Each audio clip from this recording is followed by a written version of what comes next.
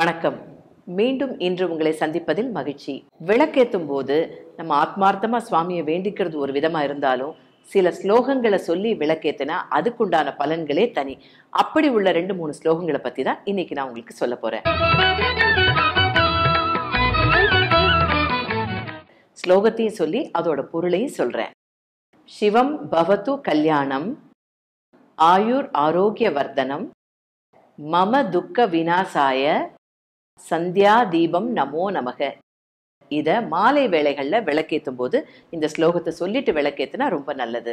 இந்த ஸ்லோகத்தோட அர்த்தம் என்னன்னு பாத்தீங்கன்னா எனக்கு மங்களம் உண்டாகட்டும் ஆயுளும் ஆரோக்கியமும் பெருகட்டும் துக்கங்கள் அகலட்டும் மாலையில் தீபம் ஏற்றி வணங்குகிறேன். இதே மாதிரி ரெண்டாவது ஒரு ஸ்லோகம் இருக்கு அதையும் சொல்றேன்.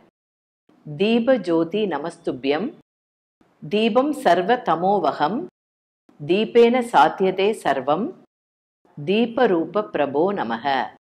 இதோட அர்த்தம் என்னன்னு பாத்தீங்கன்னா தீப ஜோதியே உனக்கு நமஸ்காரம் எல்லா நன்மைகளையும் அளிக்கும் தீப ஒளியே தீப வடிவத்தில் நான் வணங்கும் தெய்வமே சர்வமும் உன்னால் சாத்தியமாகட்டும் அப்படிங்கறத இதோட அர்த்தம். இப்போ இதெல்லாம் தெரியலன்னா உங்களை எல்லாருக்கும் தெரிஞ்ச ஒரு ஸ்லோகமும் இருக்கு. சர்வமங்கள மாங்கல்யே உங்களுக்கு எல்லாம் தெரிஞ்சிருக்கும்னு நினைக்கிறேன். விளக்கு ஏத்தும் போது அந்த ஸ்லோகத்தை சொல்லலாம். மகா பெரியவர் வந்து அதில் காமாட்சியும் சேர்த்துக்க சொல்லியிருக்காரு. அது எப்படின்னு பார்த்தோன்னா சர்வமங்கள மாங்கல்யே சிவே சர்வார்த்த சாதகே சரண்யே திரியம்பகே கௌரி காமாட்சி நாராயணி நமோஸ்துதே.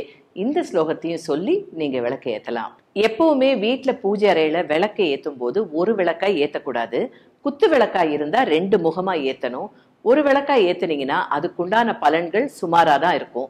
ரெண்டு தீபமா ஏத்துனீங்கன்னா குடும்ப ஒற்றுமை பலப்படும்.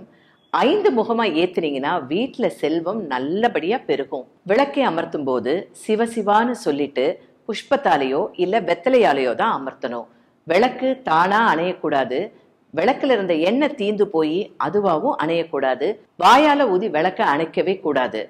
விளக்க அண அப்படின்னு சொல்லாம விளக்கை அமர்த்துன்னு தான் சொல்லணும்.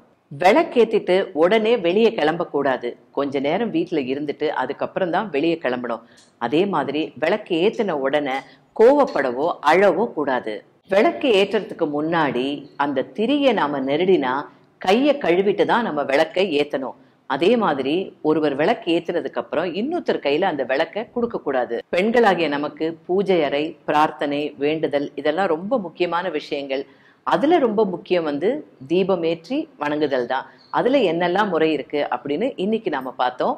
மீண்டும் நாளை நல்ல ஒரு செய்தியோடு உங்களை சந்திக்கிறேன். வணக்கம்.